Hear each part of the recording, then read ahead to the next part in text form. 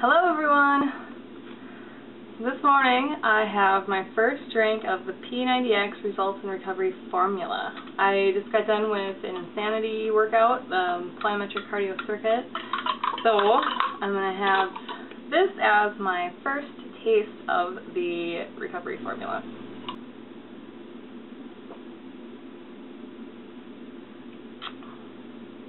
Wow, that is really good. Um,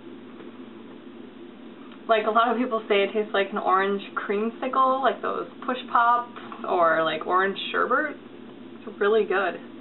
I'm I've heard it was really good, but I'm still really impressed. And I'm only having half of a, a batch or a serving because I don't think my workout was that intense today. It's only a 45 minute workout and that's including the stretches. So um for me, I mean, 220 calories for the serving, that's just, that's a lot of calories in my day.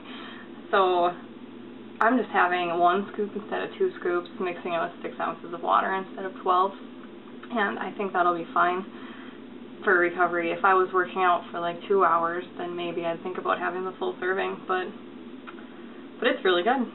So, um, I will follow this up, so I'll let you know if I think it actually helps if it aids in recovery, um, if it makes me feel better for tomorrow's workout and for the rest of the week, then it's totally worth it. Um, if it doesn't help, or if I don't think it helps, I'll let you know that too. But for now, it's delicious, so that shouldn't hold you back from from purchasing it or trying it out. So, cheers.